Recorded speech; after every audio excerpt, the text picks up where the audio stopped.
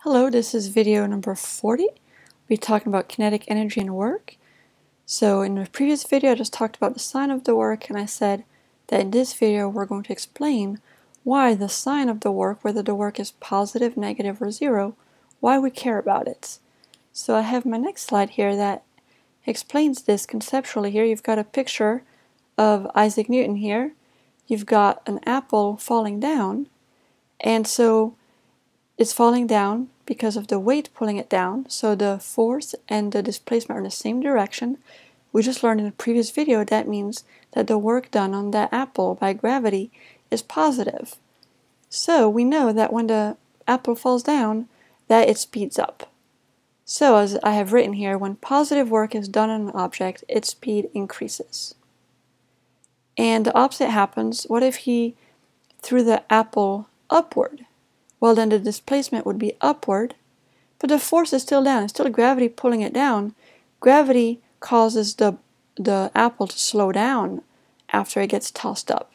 So the work done by gravity is now negative because it's slowing it down. Well, because it's in the opposite direction. But that negative work makes it slow down. So when negative work is done, the speed decreases. So that's why we really care about is the work positive or negative because it affects the speed of your object and in turn if it affects the speed it actually affects the energy that the object has. So that brings us to our work kinetic energy theorem or work energy theorem.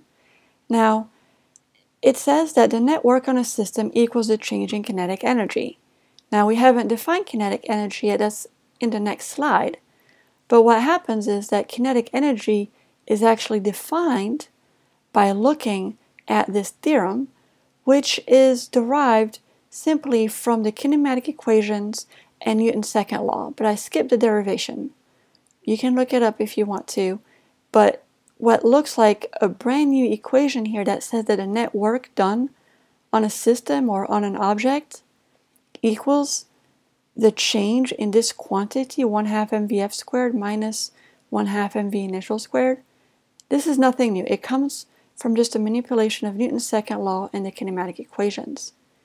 But now that we know this, what we can do is we can say, okay, well, this quantity, we're going to call it the kinetic energy. And then we can say that the work changes the kinetic energy.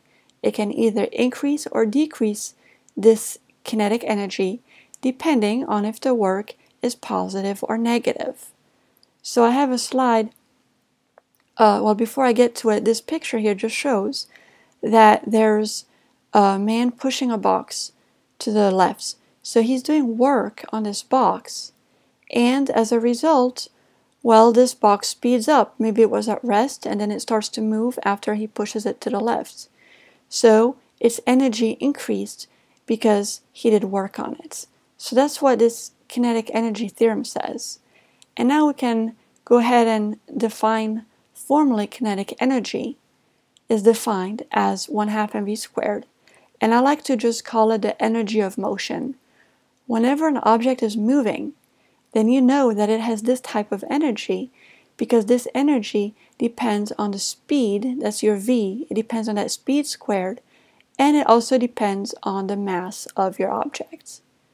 So, just to give a little example, if you have a tiny a little mouse running toward you or a huge elephant running toward you, well, you know, which one are you more scared of?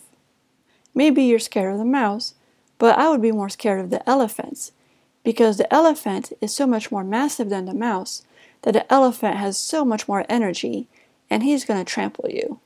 Well, the mouse, you can probably just flick it with your finger and, you know, it'll go away.